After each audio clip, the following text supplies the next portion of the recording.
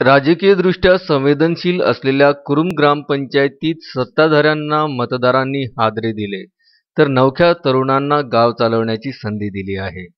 कुरुम ग्रामपंचायत निवडणुकीची पंधरा जानेवारीला मतदान प्रक्रिया झाली. अठरा जानेवारी रोजी मतदानाचा कौल आला झालेल्या निवडणुकीत पंधरापैकी तेरा जागांवर भाजपा आणि मित्रपक्ष पुरस्कृत ग्रामविकास परिवर्तन पॅनलचे उमेदवार भरघोस मतांनी निवडून आले. स्पष्ट बहुमत मिळाल्याने प्रस्थापितांना जबर हादरा बसला. काँग्रेसचे पानिपत झाले. येथील ग्रामपंचायत गेल्या पंधरा वर्षांपासून काँग्रेस पक्षाच्या ताब्यात होती. पाच वार्डातून पंधरा जागांसाठी निवडणूक घेण्यात आली. येथे आतापर्यंत काँग्रेसचे वर्चस्व होते. सर्व निवडणुकांमध्ये महत्वाची आणि तेवढ्याच प्रतिष्ठेची असलेल्या या स्थानिक निवडणुकांमध्ये वेगवेगळ्या वार्डातील तीन अपक्षांसह भाजपा आणि मित्रपक्ष पुरस्कृत ग्रामविकास परिवर्तन पॅनल आणि सत्ताधारी काँग्रेस प्रणित पॅनलने प्रत्येक वार्डात आपापल्या उमेदवाराला उभे केले होते.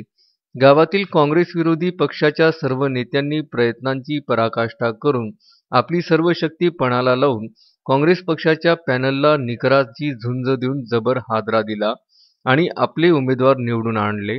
प्रस्थापित सत्ताधारी पक्षाच्या नेत्यांनी गावकऱ्यांची विकास कामात नाराजी केल्याने यावेळी झालेल्या निवडणुकीत त्यांना नाराजीचा सामना करावा लागला. गावातील काही भागात प्रलंबित असलेल्या समस्या जशाच्या तशा असल्याने तसेच विकास कामात करण्यात आलेले राजकारण या मुद्द्यावर ग्रामविकास परिवर्तन पॅनल निवडणुकीच्या रिंगणात उतरले होते. मात्र मतदार राजा असल्याने जनतेने ग्रामविकास परिवर्तन पॅनलला जोरदार समर्थन देऊन सत्ताधारी पॅनलला डावलले आहे.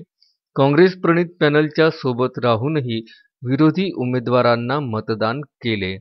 मूर्तिजापूर तालुक्यात मोठ्या ग्रामपंचायतीत गणल्या जाणाऱ्या कुरुम ग्रामपंचायतीमध्ये अनपेक्षित सत्तांतर झाले.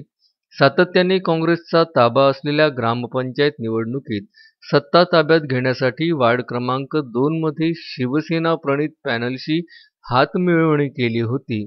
मात्र सत्ता परिवर्तनाच्या नांदी असलेल्या मतदारांनी शिवसेना प्रणित पॅनलचा पार धुराळा उडविला.